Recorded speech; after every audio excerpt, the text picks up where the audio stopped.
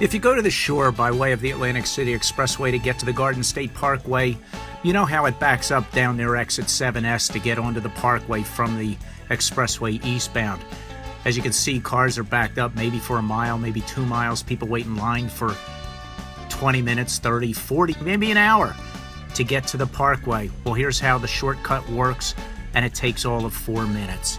You know to expect this every Saturday and Sunday morning heading down to the shore. So when you're going on the expressway and you get to mile nine, stay over in the left lanes closer to the divider. When you see those cars lined up, just keep on going past them. That's 7S on the right, and you can see cars that were waiting in line for well over a mile and probably a half an hour to get there. We're going to get off at 7N. Just watch.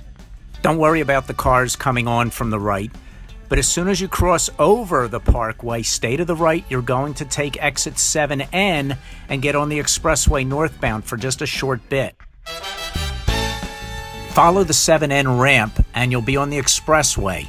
Stay to the right. You'll go under the overpass for the parkway. You'll take exit 38A for Camden and Philadelphia, getting you back on the expressway northbound for just a little bit, just enough to cross the parkway, where you'll get to again exit 7S from the northbound lanes.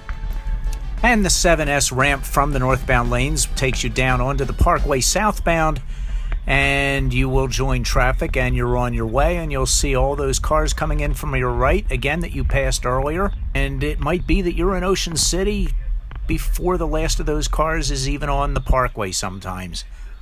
You're home free from there, Give it a try. There are no tolls involved at all in this.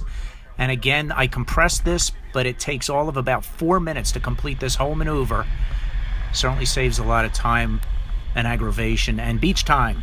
Try it, it works, and you get there quicker. Thanks for watching.